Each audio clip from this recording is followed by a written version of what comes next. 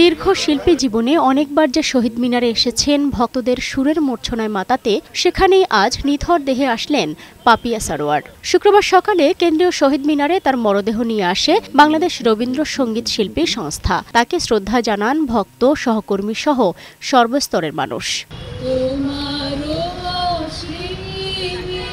পাপিয়া সারোয়ারের প্রস্থান দেশের সঙ্গীতাঙ্গনের জন্য অপূরণীয় ক্ষতি বলে জানান সহকর্মী ও সঙ্গীতজ্ঞরা। তিনি শুধু শিল্পীই ছিলেন না আমরা বলতে পারি তিনি একটি রবীন্দ্রনাথের প্রতিষ্ঠান। রবীন্দ্রনাথের যে দর্শন সেইটা পাপিয়াপাত অন্তরে ধারণ করতেন। সে চলে যাওয়া একটা বিরাট শূন্যতা আমাদের আমাদের হয়েছে।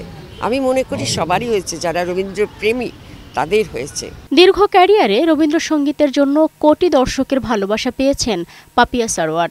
তার ব্যতিক্রমী গায়কী ও কণ্ঠের প্রশংসা ছিল সঙ্গীতাঙ্গনে। আপনাদের শ্রদ্ধায় সে তার অনন্ত যাত্রায় আনন্দ পাবে। আমাদের দায়িত্ব এখন পরবর্তী প্রজন্মকে পাপি আপা যে প্রথম সেই জন সেই দূরদর্শী রবীন্দ্রনাথকে আমাদের ঘরে পৌঁছে দেওয়ার জন্য এই বার্তাটি এই প্রজন্মকে জানানো। উনিশশো সালের একুশ নভেম্বর বরিশালে জন্মগ্রহণ করেন এই গুণী রবীন্দ্রসঙ্গীত শিল্পী। ছোটবেলা থেকেই রবীন্দ্রসঙ্গীতে ছিল ঝোঁক। উনিশশো সালে ভারত সরকারের বৃত্তি নিয়ে ভর্তি হন বিশ্বভারতীতে।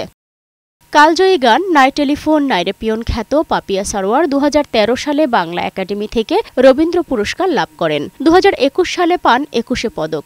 জাতীয় রবীন্দ্রসঙ্গীত সম্মিলন পরিষদের সাধারণ সম্পাদকের দায়িত্ব পালন করেন তিনি। ছায়ানট ও বুলবুল ললিতকলা একাডেমিতে রবীন্দ্রসঙ্গীতের প্রশিক্ষকও ছিলেন। দীর্ঘদিন ক্যান্সারের সাথে লড়াইয়ের পর বৃহস্পতিবার না ফেরার দেশে পাড়ি জমান পাপিয়া সরোয়ার। সালমা জাহান মুক্তা, বৈশাখী সংবাদ ढाका